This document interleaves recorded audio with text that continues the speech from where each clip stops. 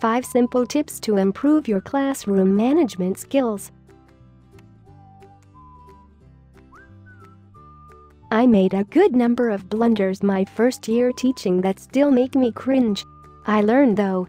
And it's fair to say, when it comes to managing a classroom, most of what we learn as new teachers is trial by fire. It's also smart to heed the advice of those who have walked and stumbled before you. If you are struggling with discipline, here are 5 tips that you can start using right away. This post was written by our TEFL certification graduate Yilong L. 1. Use a normal, natural voice. Are you teaching in your normal voice? Every teacher can remember this from the first year in the classroom, spending those first months talking at an above normal range until one day you lose your voice. Raising our voice to get the students' attention is not the best approach, and the stress it causes and the vibe it puts in the room just isn't worth it. The students will mirror your voice level, so avoid using that semi-shouting voice. If we want kids to talk at a normal pleasant volume, we must do the same. You want to also differentiate your tone. If you are asking students to put away their notebooks and get into their groups, be sure to use a declarative, matter-of-fact tone. If you are asking a question about a character in a short story or about contributions made by the Roman Empire, use an inviting, conversational tone. 2. Speak only when students are quiet and ready. This golden nugget was given to me by a 20-year veteran my first year. She told me that I should just wait and then wait some more until all students were quiet. So I tried it. I fought the temptation to talk. Sometimes I'd wait much longer than I thought I could hold out for. Slowly but surely, the students would cue each other. She's trying to tell us something. Come on, stop talking, and hey guys, be quiet. They did all the work for me. My patience paid off. Yours will too and you'll get to keep your voice. 3. Use hand signals and other nonverbal communication. Holding one hand in the air and making eye contact with students is a great way to quiet the class and get their attention on you. It takes a while for students to get used to this as a routine, but it works wonderfully. Have them raise their hand along with you until all are up. Then lower yours and talk. Flicking the lights off and on once to get the attention is an oldie but goodie.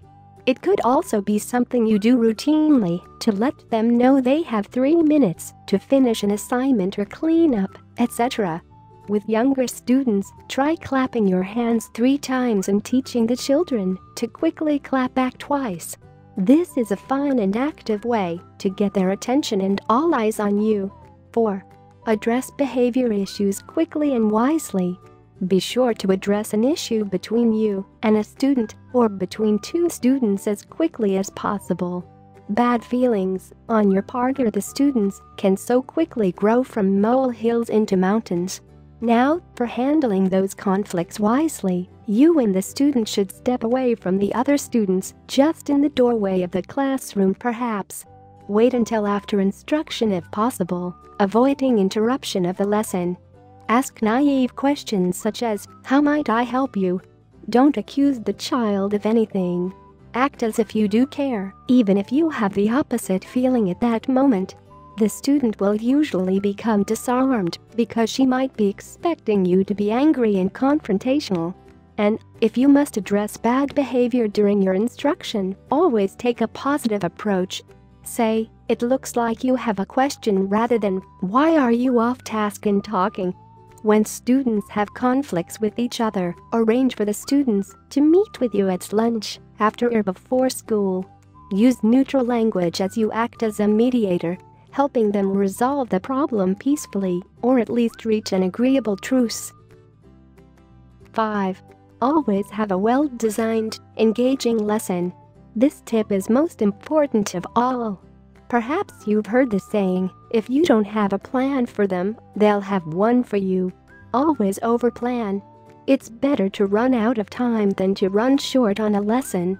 From my own first-hand experience, and after many classrooms observations, something that I know for sure.